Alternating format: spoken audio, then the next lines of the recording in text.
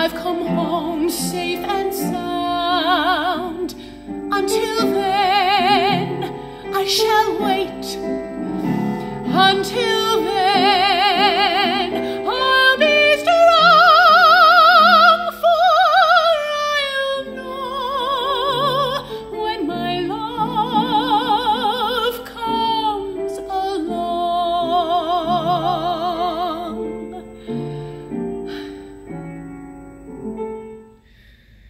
Fine old gentleman. I suppose he sort of looks after you. We look after each other. Uh huh.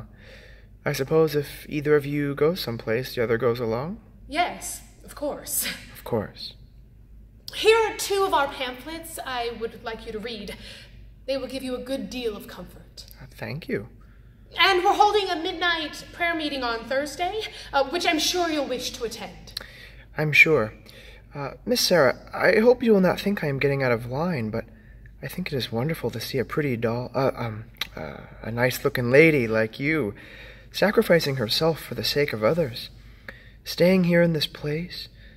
Do you ever go anyplace else? Travel or something? I'd like to go to Africa.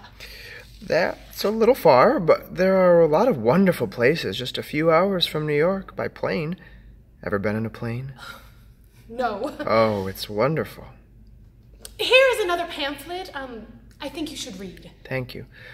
Of course, I will need a lot of personal help from you. My heart is as black as two feet down a wolf's gullet. I shall be speaking on Thursday at the prayer meeting. I need private lessons.